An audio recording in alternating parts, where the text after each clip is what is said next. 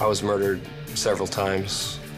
I was, I was, I was uh, sliced open the gut and my, my neck over and over again all day long. It was very fun. I came to the conclusion that it wouldn't be a bad way to go. It'd be so fast.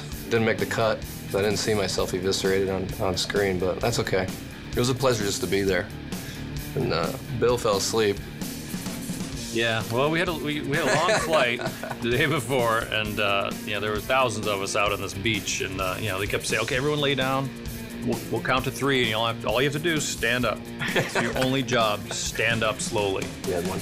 Yeah, we've been doing that for I don't know five, six hours, and you're just you're awake. The way your eyes are open, but you're asleep inside in your brain. And I was laying down, I was like, "Oh, it's nice and cold and water Wet. washing up and you know, muddy, and just like this is so comfy." And I'm in my little inner ear, I heard three, and I was like, three.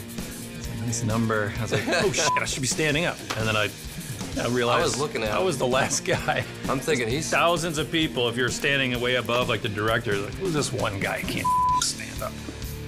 the mastodon guy. I was wrong about him. I thought he was a good actor. He's not. Can't do it. Watch our videos and exclusive content on your TV or follow us at Music Choice.